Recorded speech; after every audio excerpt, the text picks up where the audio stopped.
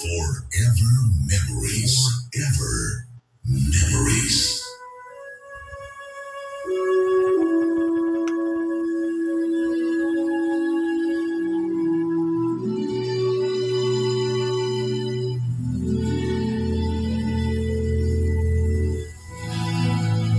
People,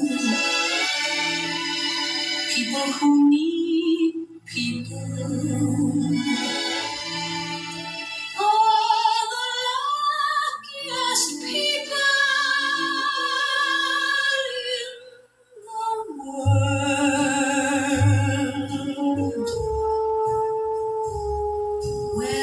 Children